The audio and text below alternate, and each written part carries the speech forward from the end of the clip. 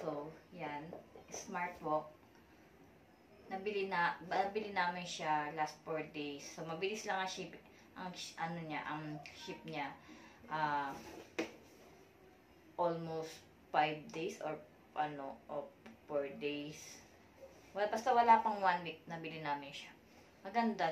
Ah, gusto ko siyang itry kasi maraming bumibili na to sa Edmark sa online online nila. Bali, nag-order kami para itry. Ah, ito yung smart walk. So, bali, ito siya guys, oh.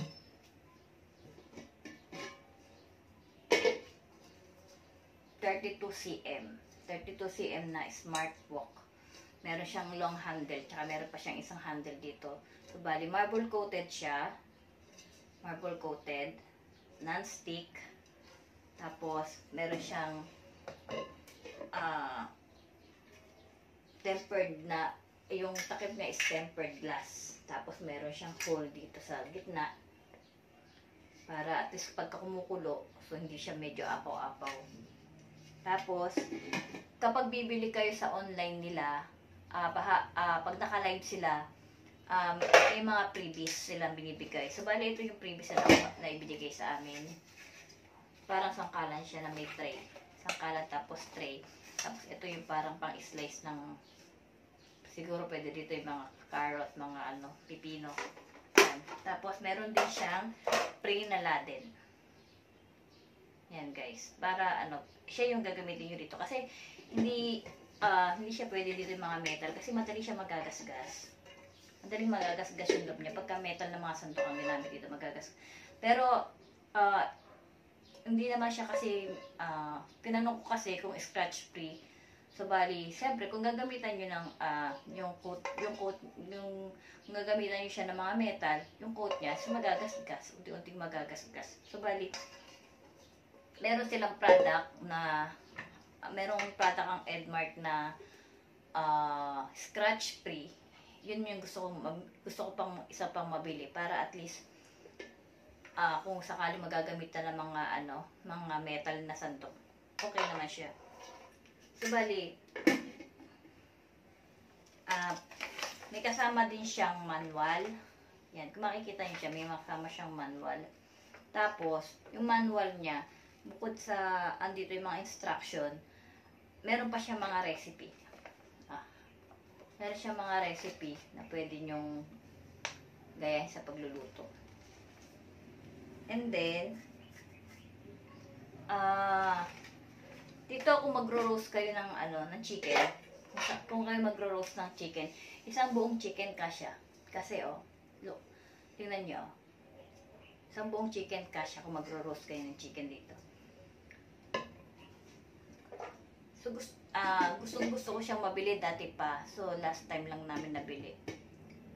Bali, ano, kasi paulit-ulit na ginagamit ko sa pagluluto. So, gusto ko naman mag-try ng iba. Kasi ang hirap naman kasi yung, ano, yung pagka nagluluto ka, dumidikit. Lalo pagka isda, magpiprito ka ng isda. Halos nadudurog siya. Ah, ang hirap-hirap. Tapos, talsik, puro talsik ng mantika. At least ito, um, dito nakaka, ah napanood sa live nila, nakakapagluto sila rito ng isda. Na konting kon na wala pang mantika. Pero minsan may konting mantika. Pero okay naman kasi dumidikit. Yun ang gusto ko kasi yung ano, pag magluluto yung hindi didikit. Tapos guys, tingnan nyo yung ilalim niya. Induction bottom siya. Yan. Pwede siya in- sa induction cooker, induction na stove, pwede siya sa electric stove, pwede din siya sa gas stove. Pero, um, pag sa gas stove nyo siya gagamitin, kailangan yung apoy nyo sa, ano, sa stove nyo is hanggang dito lang. Hanggang dito lang siya. Hindi siya lalampas dito. Kasi meron ako dating nabili na isang set na, ah, isang set na mga wok. Ah, yung pagka lumampas yung apoy niya dito, dito, oh, pangit na siya. Kasi kulay red pa naman siya nung mabili ko. Tapos meron na siya mga mark ng ano rito, apoy. So, bali, ang pagkakaalam ko dito, pagka induction bottom siya, hanggang dito lang ang ano, apoy na pwede, ano, pwede sa kanya. Para at least hindi siya, maano, masira yung coated niya sa labas. Yan. Tapos, ah kung gagamit kayo ng ano, ng ah ng scratch free or ng ng ang tawag dito ng non-stick na bu na mga ganito mga gamit na non-stick ah before nyo, ah, di ba hugasan nyo muna siya, tapos before nyo siyang gamitin sa pagluluto, papahiran nyo muna siya ng mantika para at least ah mag ano, maging ah, gumana yung pagiging ano niya, non-stick niya. Kasi ah, minsan may mga nagre-reklamo na hindi daw non-stick kasi dumikit. So bali, ah, may, may instruction naman siya dito eh, na after nyo siyang ano, hugasan, tapos patuyuin, tapos tsaka papahiran ng konting oil. Yan, para at least walang reklamo, di ba? Kasi marami nagre-reklamo sa kanila na kesyo dumidikit daw. So, bali, hindi naman nila, sa live nila, hindi naman nila na ipapaliwanag kung paano yung unang paggamit. So, bali, kasi meron naman siyang instruction. Importante na nagbabasa, nagbabasa tayo ng manual para alam natin yung instruction. Excited na akong gamitin siya, guys. Kasi, ah, next vlog ko, share ko sa inyo, gagamitin ko siya. Kasi tapos ano, marami silang mga marami silang mga product na magaganda. So sana pag ginamit ko to hindi ako mapahiya sa inyo na inintroduce ko tong smart walk nila. Ah at least may magagamit na akong bago sa pagluluto ko. Nakaka-excite kasi pagka ano, magluluto ka tapos meron ka mga bagong gamit. Nakaka-excite, di ba?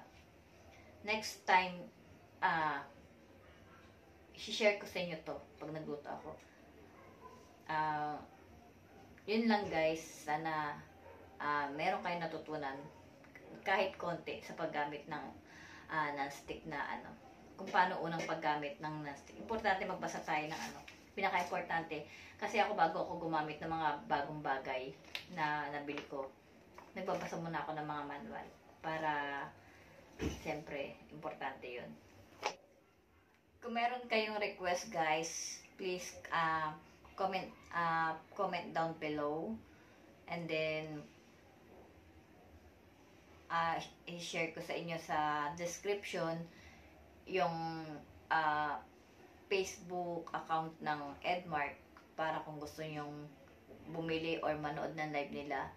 Pero meron din silang ano, meron din silang um, mga vlog sa YouTube, mapapanood nyo Edmark.